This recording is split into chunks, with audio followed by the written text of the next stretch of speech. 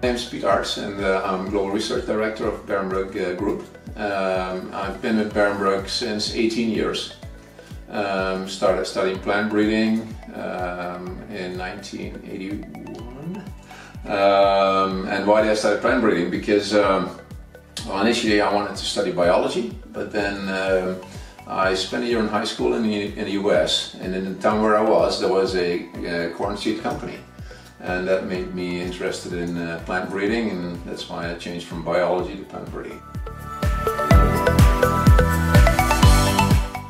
I um, applied for a job at Barenbrug which was a plant breeder in Wolfheze which is the, the breeding station in Holland.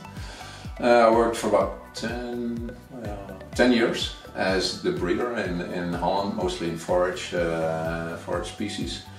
And then um, I was asked to uh, fill in the, jo the, job of Global Research Manager in, uh, in, in Barenbrug. So that's sort of my career in a nutshell. Uh, we have breeding stations all over the world, uh, in, in, a way. Uh, and it's nice for me as a plant breeder by you know by heart that I like to discuss with our breeders when you're in the field. You know, when you look at plants and when you look at their programs. So that's for me that's the nicest part of my job. So that, that's the that's the nice part for me.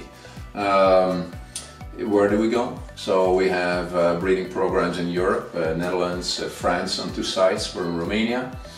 Uh, we have a program in the United States in Oregon.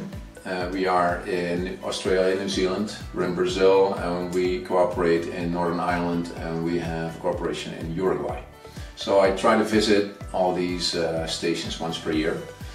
And next to these breeding stations, we have multiple sites where we do trials. Okay, so um, for example, um, in Europe we have trials in besides the breeding station, we have trials in Germany. In the US we have multiple, you know, we have the breeding station in Oregon, but then we do trials in the Midwest, in Kentucky, in New Mexico, in Connecticut, you know, in South or North Carolina. Um, we are in Argentina, um, you know, so there, there's a lot of other countries and, and, areas where we do trials, not just breeding, but just testing the material.